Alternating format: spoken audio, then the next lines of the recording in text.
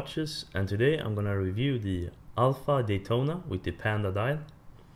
And some of you may know I have already reviewed the Alpha Daytona uh, but with the Paul Newman dial and the silver bezel. So today I thought I'd do a, a review of the Panda dial version. And if you watched my first review I said that this watch is a very good affordable mechanical chronograph and for the price I think it's uh, uh, very very good and in general it's very hard to find a mechanical chronograph in this price point. It have popped up a few more alternatives but this is still a very good option. And I start off with the, movement and the movement in this watch is the Seagull ST19 movement and uh, in general, the ST19 is a very robust movement and is well known for for being a robust movement. But of course, uh, there have been some report that it's uh, pretty unreliable. But I think the biggest uh, problem is the quality control with these movements. And as long as you uh, buy from a respectable dealer, I think it will be no problem and the ST19 is actually based on the old Swiss-made uh, Venus 175 movements and I think it was in the 60s uh, the Chinese government bought the rights and the machines uh, to that movement and uh, started making their own movement, the ST19. So the ST19 is basically a Venus 175 movement, which was a fantastic mechanical chronograph movement. Uh, actually column wheel chronograph and so the ST19 is basically the same movement but uh, made with uh, other materials and from my research the materials used is not uh, is not of the highest quality but uh, it's still a very reliable movement and as I said if uh, the quality control is done right this movement will probably last you a very long time and on my last review one of the most asked questions uh, was uh, where I bought the Daytona Paul Newman. And I bought it from Alpha Watch EU, and I will leave a link down in the description. And I bought, I bought a couple of uh, Alphas from them. And from my experience, they are a very good uh, dealer.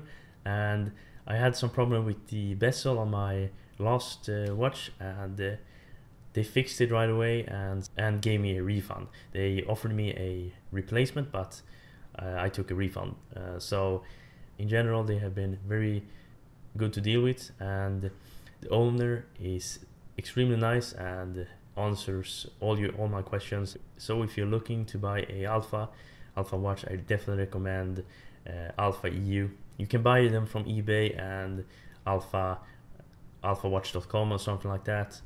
Uh, I had some bad experience with alphawatch.com and when I switched to Alpha Watch EU uh, I think they were a lot better so I had, can highly recommend them and I said I will leave a link down in the description.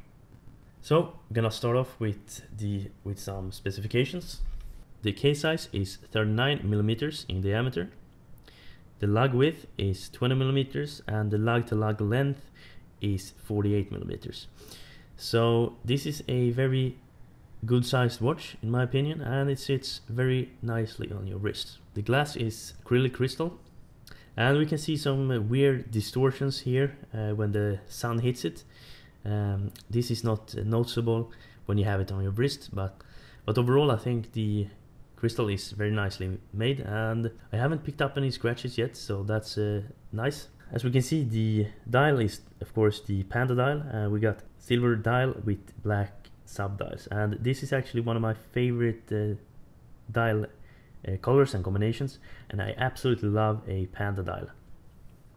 Mechanical Panda chronograph is actually pretty hard to come by so uh, this is a very nice uh, option and especially for the price. Uh, these days uh, some new alternatives have popped up uh, maybe I will leave a link down in the description for some good alternatives. But I still think this is one of the better alternatives and especially as said for the price. My watch comes with a see-through case back, but uh, you can also get this watch with a solid case back. But I think uh, the standard option on Alpha EU or watch Alpha EU uh, is a C2 case back and I think I prefer it because the movement looks very good and it's always nice to see a good looking movement. The case is uh, polished on the sides and brushed on the uh, lugs here and I think it's very nice to see that they have uh, gone with the polishing and brushing on the top of the lugs uh, because I really it's one of my personal favorite combinations. I think it's nice to see that they have not cheapened out and gone for a full uh, polished case. Because I think it adds a bit of contrast and uh, I think it looks very very good. And of course with a chronograph uh, it will be a bit thicker uh, but this is of course to be expected and I, I don't think this is uh, uh, that thick actually and I think it sits quite nicely on your wrist. The, the dial got applied markers and an applied logo at the top. It says alpha and when it was established and it says mechanical chronometer uh, which is a bit misleading as I said in my last review. Chronometer is often associated with uh, chronometers certified which this watch is not but I guess it's still a chronometer. Uh, it's a timing device so to speak. So it's not a lie but I would prefer dial without a mechanical chronometer. But in general I think the dial is very very nicely done. And uh, uh, the dial looks a lot more expensive than uh, it actually is. So that's always nice to see. This version got the black bezel and it's a bezel insert and I'm honestly gonna say I prefer the silver bezel I think it looks and feels a bit more solid than the bezel on this one but uh, it's nothing wrong with it and it looks uh, uh, pretty good but if you like the look on the silver dial silver bezel version, I would uh, recommend getting that one instead. And then I, another nice feature is the sign crown. It's a alpha, and I think that's a nice touch. And of course, they are uh, screwed down, and the pushers are also screwed down. Uh, one complaint from previous versions is that the crown was a bit, bit wobbly, and they have fixed it somewhat. Uh, it still feels a bit wobbly, but it's uh, nowhere near as wobbly as on my last watch, so that's very nice to see. And the water resistance of this watch is around 5 ATM, so I wouldn't recommend go swimming with it, but uh, it should hold up for general use. And as I said, the movement looks uh, very very good.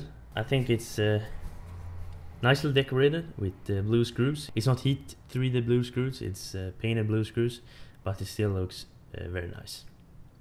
And uh, I guess some of you may ask what kind of strap is this? And it's actually a Brady sailcloth strap.